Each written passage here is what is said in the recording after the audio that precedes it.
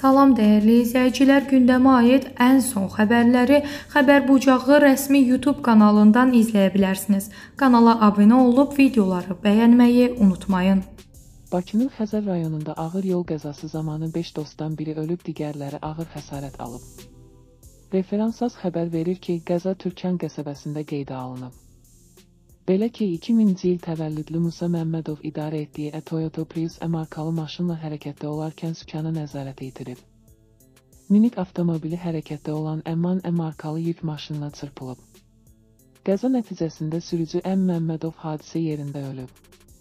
Avtomobildə olan sərnişinlər 2002-ci il təvəllüdlü Elmir Mehdizadə, 2000-ci il təvəllüdlü Orxan Babazadə, 2002-ci il təvəllüdlü Siyasət Hüseynov və 2003-cü il təvəllüdlü Elşad Şahbazadə ağır bədən xəsarətləri alıb.